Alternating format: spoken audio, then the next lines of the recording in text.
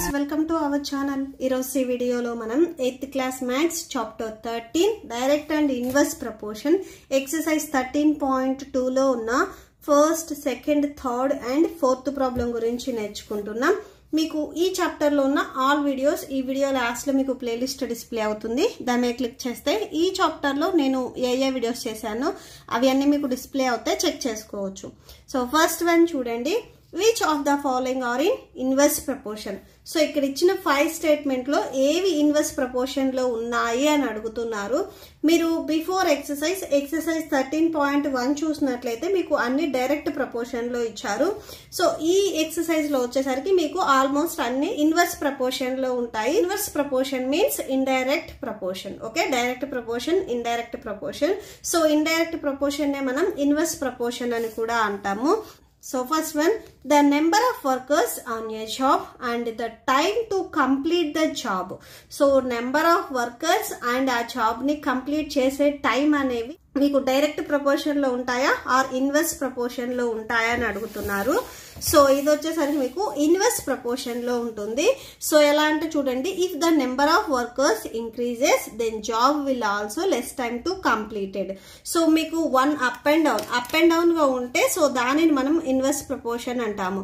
అంటే ఒక statement increases స్టేటస్లో ఉంటే ఇంకొక స్టేట్మెంట్ అనేది డిక్రీజెస్ స్టేట్మెంట్స్లో ఉంటే సో దీనిని మనం ఇన్వర్స్ ప్రపోర్షన్ అంటాము. సో మీరు బిఫోర్ ఎక్సర్సైజ్ వరకు చూసినట్లయితే రెండు మీకు ఇంక్రీజెస్ లేదా రెండు డిక్రీజెస్ స్టేటస్లోనే ఉంటాయి. సో ఇలా ఉంటే వీటిని మనం డైరెక్ట్ ప్రపోర్షన్ అంటాము. ఒక స్టేట్మెంట్ ఇంక్రీజ్లో ఉంటే ఇంకొక స్టేట్మెంట్ అనేది డిక్రీజ్లో ఉంటే సో దానిని మనం ఇన్వర్స్ ప్రపోర్షన్ అంటాము. So number of workers workers ఎక్కువ మంది ఉంటే సో వాళ్ళని కంప్లీట్ చేసే టైం అనేది తగ్గుతుంది. ఒక ఎగ్జాంపుల్ చూడండి. సపోజ్ క్లాస్ మీ క్లాస్ రూమ్ మొత్తాన్ని డెకరేట్ చేయమంటే టూ మెంబర్స్కి ఎలోకేట్ చేస్తే ఆల్మోస్ట్ ఒక ఫోర్ అవర్స్ టైం పట్టింది అనుకోండి. మీ క్లాస్ రూమ్ మొత్తాన్ని డెకరేట్ చేయాలి అంటే టూ మెంబర్స్కి ఫోర్ అవర్స్ టైం పట్టింది. అదే సేమ్ క్లాస్ రూమ్ని డెకరేట్ చేయటానికి ఒక ఫైవ్ మెంబర్స్ని ఎలోకేట్ చేశామంటే ఓకే సో ఫైవ్ మెంబర్స్ని ఎలోకేట్ చేస్తే two or two and half hours పట్టవచ్చు అంటే ఇక్కడ మెంబర్స్ అనేది ఇంక్రీజ్ అయితే టైం అనేది తగ్గుతుంది. ఓకేనా? సో మెంబర్స్ ఇంక్రీజెస్ స్టేటస్లో ఉంటే టైం డిక్రీజెస్ స్టేటస్లో ఉంది. సో దీనిని మనం ఇన్వర్స్ ప్రపోర్షన్ అంటాము. ఓకే? సో ఇక్కడ కరెక్ట్గా అబ్జర్వ్ చేయండి. అంటే సేమ్ వర్క్ ఎక్కువ మెంబర్స్కి ఎలోకేట్ చేస్తే సో టైం టేకింగ్ అనేది తక్కువ పడుతుంది. ఓకే? సో ఒకటి ఇంక్రీజెస్ ఒకటి డిక్రీజెస్ స్టేటస్లో ఉంది కాబట్టి సో ఈ ఫస్ట్ వన్ వచ్చేసరికి మీకు ఇన్వర్స్ ప్రపోర్షన్ అవుతుంది. నెక్స్ట్ సెకండ్ వన్ చూడండి. The time taken for a journey and the distance travel in a uniform speed suppose మీరు హైదరాబాద్ నుంచి గుంటూరు ట్రావెల్ చేయాలి అనుకోండి. ఒక త్రీ హండ్రెడ్ కిలోమీటర్స్ డిస్టెన్స్ ఉందనుకోండి సో ఇక్కడ మీరు పర్ అవర్కి ఫిఫ్టీ కిలోమీటర్స్ స్పీడ్తో వెళ్తే సో ఎన్ని అవర్స్లో వెళ్తారు? సిక్స్ అవర్స్లో వెళ్తారు. ఓకే? సో ఇక్కడ టైం అంటే ఇక్కడ మీకు స్పీడ్ వచ్చేసరికి యూనిఫామ్ స్పీడ్ అని చెప్తున్నారు. So one hour fifty kilometres second అవర్కి వచ్చేసరికి సిక్స్టీ కిలోమీటర్స్ ఇలా కాకుండా స్టార్టింగ్ ఏ స్టేజ్లో అయితే మీరు ఫస్ట్ తీసుకున్నారు. సో వన్ అవర్కి ఫిఫ్టీ కిలోమీటర్స్ అని సేమ్ అదే స్పీడ్తో వెళ్తే మీకు టైం అనేది సిక్స్ అవర్స్ పడుతుంది. ఓకే? సో ఇది వచ్చేసరికి మీకు is not in inverse proportion స్పీడ్ని మీరు ఇంక్రీజ్ చేశారు అంటే టైం అనేది తగ్గుతుంది. సో స్పీడ్ని ఇంక్రీజ్ చేయకుండా సేమ్ ఒక కాన్స్టెంట్ స్పీడ్లో వెళ్ళారు అంటే సో మీకు టైం అనేది ఏం డిక్రీజ్ అవ్వదు సేమ్ కాన్స్టెంట్ ఉంటుంది.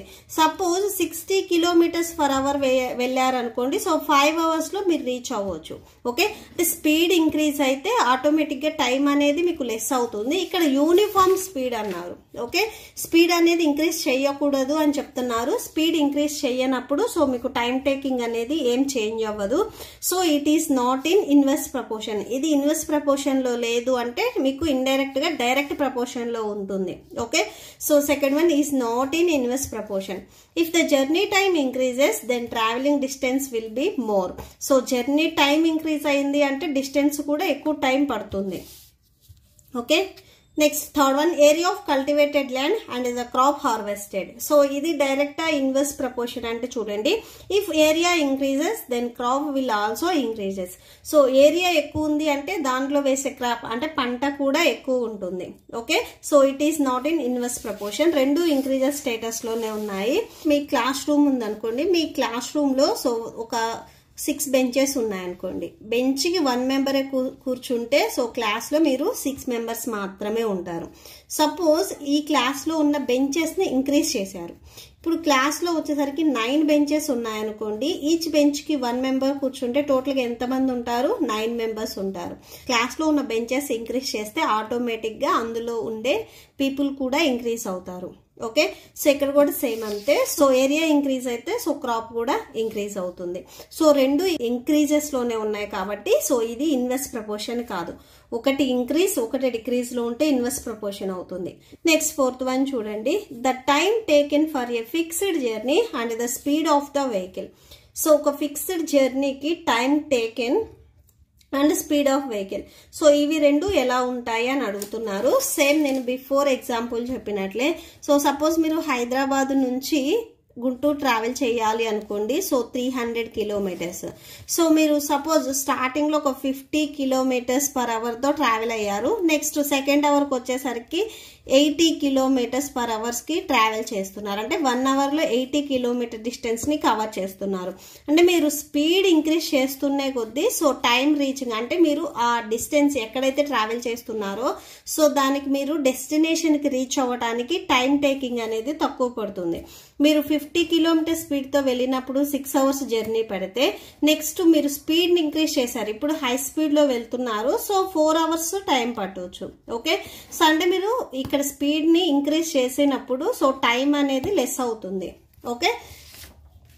సో ఒకటి ఇంక్రీజెస్ ఒకటి డిక్రీజెస్లో ఉంది కాబట్టి సో ఇది ఇన్వెస్ట్ ప్రపోర్షన్ అవుతుంది. Next fifth one the population of country and area of land per person so కంట్రీలో పాపులేషన్ అండ్ పర్ పర్సన్కి ల్యాండ్ అనేది ఇంక్రీజెస్ డిక్రీజెస్లో ఉంటాయా? అంటే ఇవి ఇన్వెస్ట్ ప్రపోర్షన్లో ఉంటాయా అంటే if population of country increases then area of land per person also decreases so population కంట్రీలో పాపులేషన్ అనేది ఇంక్రీజ్ అయితే సో పాపులేషన్ మీకు ఇంక్రీజెస్ స్టేటస్లో ఉంటే సో ల్యాండ్ పర్ పర్సన్ వచ్చేసరికి డిక్రీజెస్ స్టేటస్లో ఉంటుంది. ఇది మీకు క్లియర్గా చెప్పాలి అంటే చూడండి సపోజ్ మీ క్లాస్ రూమ్లో ఒక ఫైవ్ బెంచెస్ ఉన్నాయనుకోండి ఈచ్ బెంచ్కి టూ టూ పర్సన్స్ ఉన్నారు. సో ఇట్లా క్లాస్ రూమ్లో వచ్చేసరికి టోటల్గా టెన్ మెంబర్స్ ఉన్నారు. ఓకే సో ఇప్పుడు క్లాస్ రూమ్లో మెంబర్స్ ఇంక్రీజ్ అయ్యారు. ఇంకొక ఫైవ్ మెంబర్స్ వచ్చేసరికి ఎక్స్ట్రాగా యాడ్ అయ్యారు అనుకోండి టోటల్గా ఫిఫ్టీన్ మెంబర్స్ సో ఈ ఫిఫ్టీన్ మెంబర్స్కి మళ్ళీ మనం బెంచ్ని ఎలోకేట్ చేయాలి కదా. సో ఇప్పుడు బెంచ్కి వచ్చేసరికి త్రీ త్రీ మెంబర్స్కి మనం ఎలోకేట్ చేస్తున్నాము వన్ బెంచ్ని అంటే పాపులేషన్ ఇంక్రీజ్ అయితే సో ఇక్కడ ఏదైతే స్పేస్ ఉందో ఇది వచ్చేసరికి డిక్రీజ్ అవుతుంది. సో పర్ పర్సన్కి ప్లే ఈ ప్లేస్ అనేది డిక్రీజ్ అవుతుంది. ఇక్కడ కూడా సేమ్ అంతే.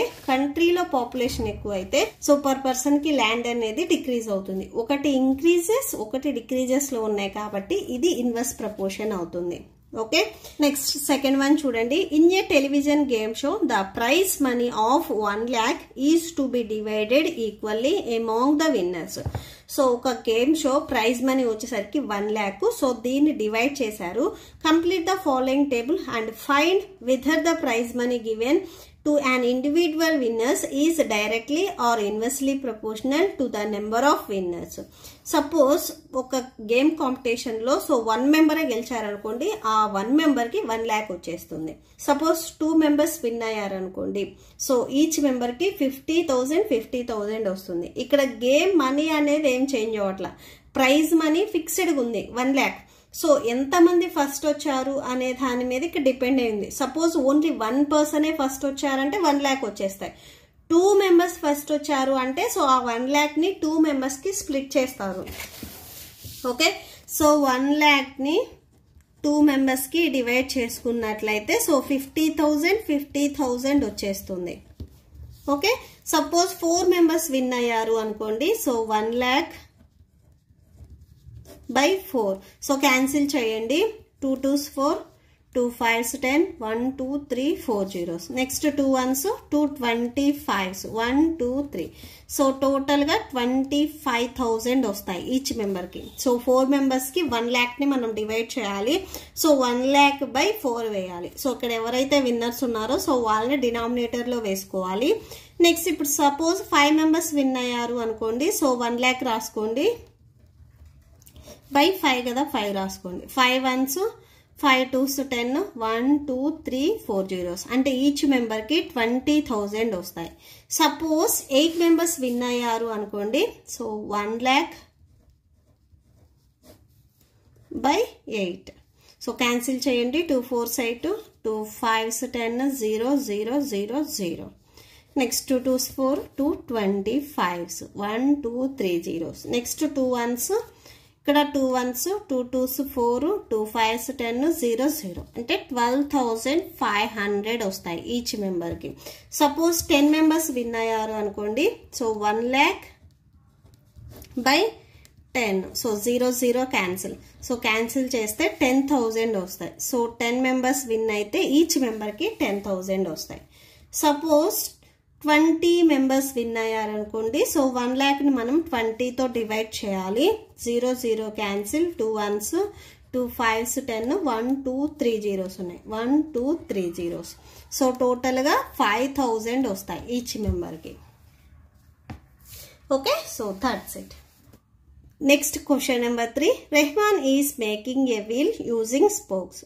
He wants to fix equal spokes in, in such a way that the angle between any pair of consecutive spokes are equal so ఈ స్పోక్స్లో ఉండే యాంగిల్స్ వచ్చేసరికి ఈక్వల్ అని చెప్తున్నారు help him by complete the following table so ఈ టేబుల్ని మనం complete చేయాలి సపోజ్ చూడండి ఫోర్ స్పోక్స్ ఉంటాయి సో ఇది వీల్ అనుకోండి. సో ఈ వీల్ వచ్చేసరికి మీకు ఏ షేప్లో ఉంది? సర్కిల్ షేప్లో ఉంది. సో టోటల్ సర్కిల్ వచ్చేసరికి మీకు three hundred and sixty degrees so ఈ సర్కిల్లో ఎన్ని స్పోక్స్ ఉన్నాయని చెప్తున్నారు? ఫోర్ ఉన్నాయని చెప్తున్నారు.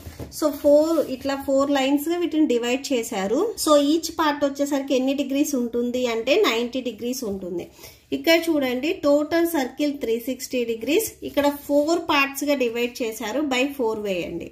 క్యాన్సిల్ చేయండి. Four ones four nines thirty six zero ఉంది జీరో. సో అంటే ఈచ్ పార్ట్ వచ్చేసరికి నైంటీ డిగ్రీస్ ఉంటుంది. Next same. ఇక్కడ సపోజ్ సిక్స్ అంటే త్రీ హండ్రెడ్ అండ్ సిక్స్టీ. ఈ వీల్ని సపోజ్ సిక్స్ పార్ట్స్గా డివైడ్ చేస్తే ఓకే? సో సిక్స్ పార్ట్స్గా డివైడ్ చేస్తే six ones six sixes thirty six ఇక్కడ జీరో ఉంది జీరో రాసుకోండి. Sixty degrees. సపోజ్ సేమ్ వీల్ని ఎయిట్ పార్ట్స్గా డివైడ్ చేస్తే బై ఎయిట్. ఇక్కడ ఎన్నైతే పార్ట్స్ ఇచ్చారో సో అవి రాసుకోండి డినామినేటర్లో. క్యాన్సిల్ చేయండి.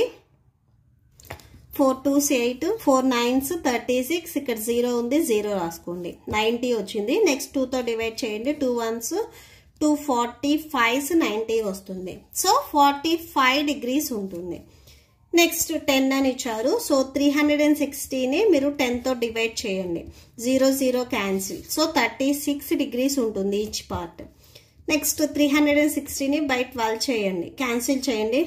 Twelve ones twelve threes thirty six zero so thirty degrees ఉంటుంది ఈచ్ పార్ట్ ఓకే సో దీంట్లో మనకు బిట్స్ ఇచ్చారు. సో బిట్స్ కూడా మనం ఆన్సర్ చేయాలి. ఫస్ట్ బిట్ చూడండి. Are the number of spokes and the angles formed between the pair of consecutive spokes in inverse proportion so spokes and angles వచ్చేసరికి మీకు inverse ప్రపోర్షన్లో ఉంటాయని అడుగుతున్నారు. ఎస్ ఇక్కడ చూడండి. సపోజ్ స్పోక్స్ ఇక్కడ ఫోర్ స్పోక్స్ ఉన్నాయనుకోండి. సో యాంగిల్ వచ్చేసరికి నైంటీ డిగ్రీస్ ఉంది. సేమ్ ఇదే సర్కిల్లో మీకు సిక్స్ స్పోక్స్ ఉంటే సో యాంగిల్ వచ్చేసరికి సిక్స్టీ డిగ్రీస్ అయింది. సో అంటే స్పోక్స్ని మనం ఇంక్రీజ్ చేస్తుంటే స్పోక్స్ ఇంక్రీజ్ ఓకే సో ఇక్కడ సిక్స్ స్పోక్స్ ఉన్నాయి. సిక్స్ స్పోక్స్ ఉన్నప్పుడు యాంగిల్ సిక్స్టీ డిగ్రీస్ ఉంది. ఫోర్ స్పోక్స్ ఉన్నప్పుడు యాంగిల్ నైంటీ డిగ్రీస్ ఉంది. సో స్పోక్స్ని ఇంక్రీజ్ చేస్తే యాంగిల్ వచ్చేసరికి డిక్రీజర్ స్టేటస్లో ఉంది. ఒకటి ఇంక్రీజ్ ఒకటి డిక్రీజర్ స్టేటస్లో ఉంది కాబట్టి ఇది ఇన్వర్స్ ప్రపోర్షన్లో ఉంటుంది. సో ఇక్కడ మనం అదే రాసాం. Yes they are in inverse proportion. Next second one చూడండి. Calculate the angle between a pair of consecutive spokes on a wheel with fifteen spokes. So suppose fifteen spokes ఉంటే యాంగిల్ ఎంత ఉంటుంది అనేది మనం క్యాలిక్యులేట్ చేయాలి. So total degrees total equal to three hundred and sixty degrees number of spokes equal to fifteen. So cancel చేయండి. Three hundred and sixty degrees by fifteen. Fifteen ones fifteen twos thirty వస్తుంది. ఇక్కడ six ఉంటుంది ఇక్కడ zero టోటల్గా sixty ఉన్నట్టు fifteen fours sixty వస్తుంది. టోటల్గా twenty four degrees how many spokes would be needed if the angle between a pair of consecutive spokes in forty degrees suppose forty degrees ఉంటే టోటల్గా ఎన్ని స్పోక్స్ ఉంటాయి అని అడుగుతున్నారు. సేమ్ ఇక్కడ. టోటల్ డిగ్రీస్ వచ్చేసరికి three hundred and sixty degrees and angle. So each స్పోక్కి forty degrees అనేది angle అని చెప్తున్నారు. సో నెంబర్ ఆఫ్ స్పోక్స్ వచ్చేసరికి three hundred and sixty degrees by forty degrees so cancel చేయండి. Zero zero cancel four ones four nines thirty six equal to nine okay so టోటల్గా nine spokes nine spokes ఉంటాయి. Next question number four చూడండి. If a box of sweets is divided among 24 children, they will get 5 sweets each. Suppose twenty four children ఉంటే each మెంబర్కి five five sweets ఇచ్చారు అని చెప్తున్నారు how many would each get if the number of the children is reduced by four suppose childrens ఒక four members reduced అంటే తగ్గారు అనుకోండి total ఇక్కడ ట్వంటీ ఫోర్ అన్నారు. దీంట్లో ఫోర్ మెంబర్స్ని డిక్రీజ్ చేస్తే అంటే ట్వంటీ మెంబర్స్ ఉంటే ఈచ్ మెంబర్కి ఎన్ని స్వీట్స్ వస్తాయి అనేది మనం ఫైండ్ అవుట్ చేయాలి. ఓకే? సో ఇక్కడ టోటల్ చిల్డ్రన్ స్టార్టింగ్లో ఎంత అని చెప్తున్నారు? ట్వంటీ ఫోర్ అని చెప్తున్నారు. ఈచ్ చైల్డ్కి ఫైవ్ స్వీట్స్ ఇచ్చారు అని చెప్తున్నారు. టోటల్ ఎన్ని స్వీట్స్ ఉన్నాయి అంటే ట్వంటీ ఫోర్ ఇంటూ ఫైవ్ వేయాలి. Okay? So total sweets members and each child ఎన్ని తీసుకున్నారు అనేది మల్టిప్లై చేస్తే వచ్చేస్తుంది. Twenty four into five one hundred and twenty వచ్చేస్తుంది. నెక్స్ట్ ఏం చెప్తున్నారు క్వశ్చన్లో? If children are reduced by four then remaining children so suppose childrens ఒక ఫోర్ మెంబర్స్ రెడ్యూస్ అయితే టోటల్ చిల్డ్రన్ ట్వంటీ ఫోర్ దీంట్లో ఫోర్ మెంబర్స్ రెడ్యూస్ అయితే టోటల్గా twenty members ఉంటారు. సో ఈ ట్వంటీ మెంబర్స్కి నెక్స్ట్ ఎన్ని స్వీట్స్ వస్తాయి అని అడుగుతున్నాను అంటే ఈచ్ మెంబర్కి ఎన్ని స్వీట్స్ వస్తాయని.